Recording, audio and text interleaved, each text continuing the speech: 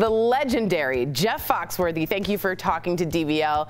Most of us are spending our extra time watching TV while you actually made a TV show. So besides staying busy, you also shaved your stash. I'm so interested in this. In the first time in 40 years, what was that reaction like for everybody? How did your face feel? My wife and I have been together 36 years and she had never seen me without it. So when, when the pandemic hit and they started canceling shows, I thought now's the perfect time to do it. My wife, who's never seen me without it, looked at me and went, oh, wow, grow it back. Uh, so I literally shaved it one time and I started growing it back. And now I know it takes about two and a half weeks to, to grow it back. You know, as far as the show, we had actually last fall, we had planned to, to do this show with a live audience this Oh, summer. wow.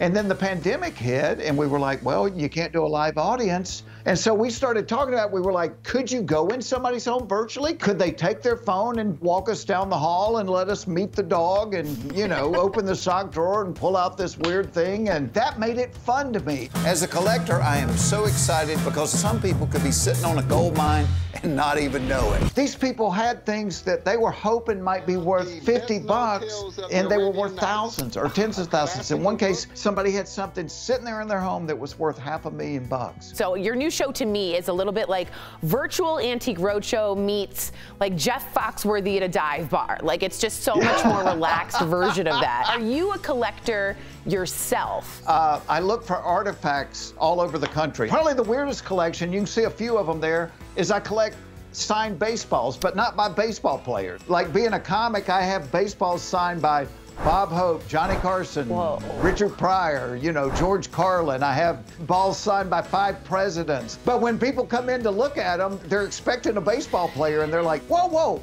who did Bill Clinton play for? I didn't know Bill Clinton played baseball. So, uh, yeah, it's kind of fun. All right, can you give us a, uh, a sneak peek into the most craziest or most expensive? Was that half a million dollars one?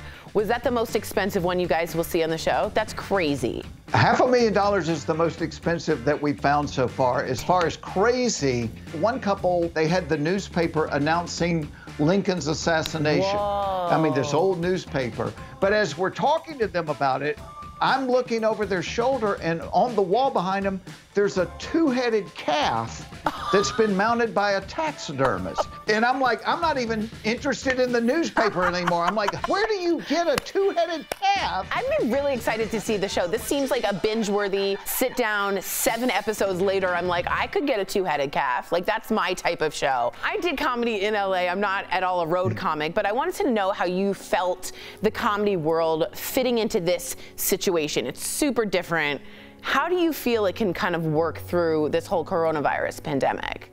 part of the job as a comic, we're truth tellers. Mm. Even if the news doesn't tell the truth, comics hold things up and go, why is this like this? Mm-hmm. Why do we say this? Why do we do this? I think we've lost the ability to laugh at ourselves mm. because here's the truth everybody's a mess. Everybody has made mistakes. I remind myself everybody I'm going to be looking at is going through a struggle. Mm-hmm. It might be financial, might be physical, might be emotional. Have grace with people. You don't know what they're dealing with. I don't think that laughter makes the struggle go away, but I do think laughter is kind of like the release valve that keeps the boiler from exploding. Let's just be kind to each other. That's a much much better way to live. What's It Worth premieres August 4th on A&E. I'll be super duper binging it. It's been a real pleasure talking to you. Thanks again.